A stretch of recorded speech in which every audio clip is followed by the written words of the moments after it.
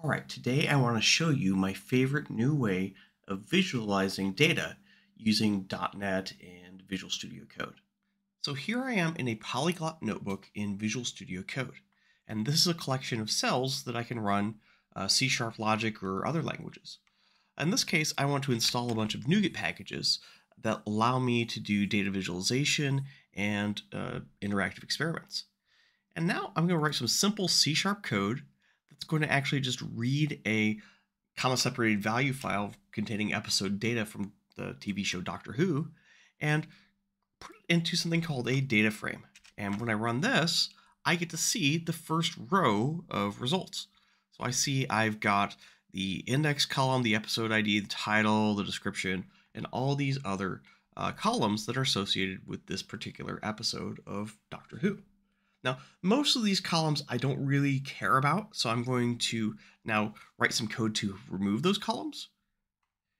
But first I need to know what columns actually exist. So I'm going to need to select from my columns, I'm going to map those basically just to their names and create an array out of that. And once I have that array, I can validate it just by displaying it below the cell in my notebook. So this Jupyter, or sorry, this Polyglot notebook is effectively its own type of application. And I slipped up there saying Jupyter notebook because Polyglot notebooks is of course built on top of Jupyter as its own kernel integrated into the, the uh, Jupyter notebook experience. But this lets me write code and see the results immediately.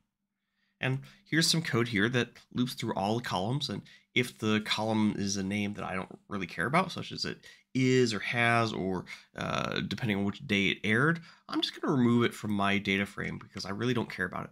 And this line 8 here, I, I just want to see the last three, uh, the first three columns, or sorry, the first three rows of my data frame.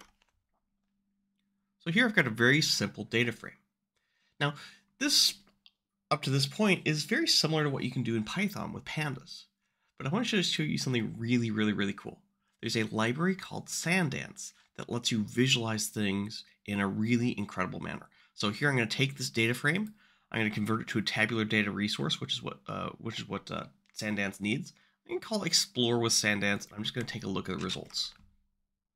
And here I see I've got this nice little editor, and this editor here allows me to pick what what what things I care about. So here, uh, if I wanted to see the doctor ID for which doctor of Doctor Who, let's say I care about the rating. So I switched that up and now I see I got this nice animated transition. Uh, I'm currently colorizing by the episode ID. Ah, that doesn't seem like a great idea. Let's instead colorize by the season of the show. Or maybe we colorize by uh, the doctor that was uh, uh, delivering it. Now, it is now colorized by the doctor, and I can hover over any given episode to get more details on that episode. But I don't necessarily agree with this green to red color scheme. So I can go into uh, the color settings over here and I can change this color scheme. And this is not necessarily a sequential color scheme, but maybe more of a uh, uh, categorical color scheme. So now I can and have different things. And instead of using quantile or quantized binning, I can just use continuous binning. And so where I see the ninth doctor is teal and the 10th is blue or, or purple and all this. And if I don't like this color scheme, well, I can choose a different one and see which ones I do like right? So I have a lot of options available to me uh, to do rich sort of data analysis right here in my notebook, okay? Um, and so here I'm seeing the the effect of the uh, the doctor on the the ratings. And so we see the the best rated episode is of course Heaven Sent uh, from the twelfth Doctor, but then we also see Forest of the Dead and Blink featuring of course David Tennant, uh, the tenth Doctor. But maybe you don't care about the rating as much. Maybe we care about the viewership.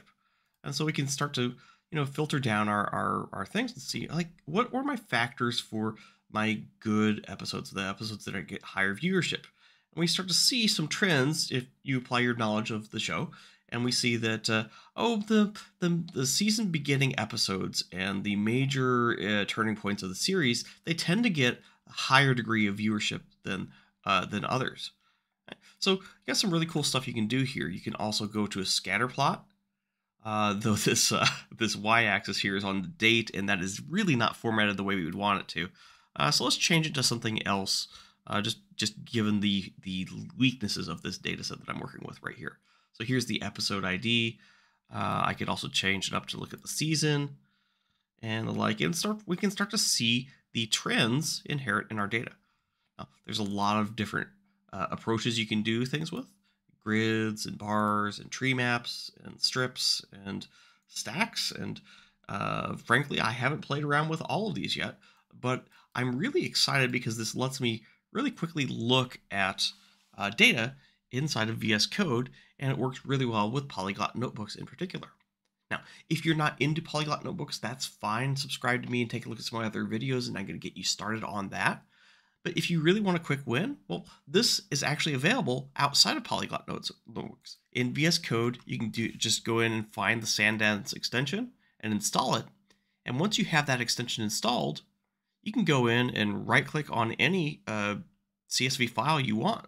So I can right click on the Titanic dataset, view it in uh, SandDance, and now I get to see um, more information about that particular data set. And I don't need to have Jupyter notebooks or Polyglot notebooks or anything else installed. So SandDance is this really awesome library from Microsoft Research that lets you just visualize your data in an interactive manner. Uh, I'm really excited about it. I really enjoy playing with it, and I hope you do too.